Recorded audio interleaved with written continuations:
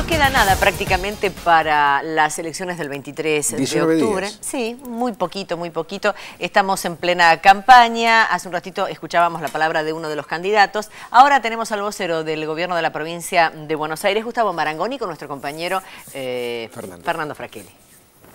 Claudia, sin lugar a dudas, estos 19 días van a ser intensos para los candidatos que quieren llegar, en el caso de la provincia de Buenos Aires, en el caso de Daniel Scioli, volver a ser nuevamente gobernador de la provincia. Estamos junto, como vos bien decías, al vocero Gustavo Marangoni.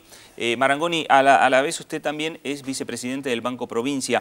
Le quería hacer la consulta, ¿en qué contexto, en qué marco se llegan a estas elecciones del próximo 23 de octubre? Creo que hay que poner eh, el contexto más amplio, es decir, el global, y señalar las diferencias con el contexto nacional porque en este mundo de incertidumbres, eh, en lo que estamos viendo en Europa, en Estados Unidos, las consecuencias del apalancamiento financiero, de la especulación, eh, nos ayudan primero a resaltar eh, mucho más la obra de un verdadero adelantado, como fue Néstor Kirchner, que en su momento con el desendeudamiento, la acumulación de reservas, las políticas públicas, nos permitió tener este presente distinto al que se está viviendo a nivel del capitalismo eh, global o el capitalismo internacional. Y también poner en valor las políticas nacionales de planificación que está llevando adelante la presidenta Cristina Fernández. Fijémonos en los últimos días nada más, el anuncio de planes agroindustriales para el 2020, del plan del turismo para el 2016, de los planes industriales,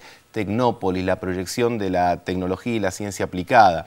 Y nosotros desde la provincia, el gobernador Daniel Scioli, en sintonía con todo esto también planificando la provincia del mediano y del largo plazo a partir de la regionalización y la globalización.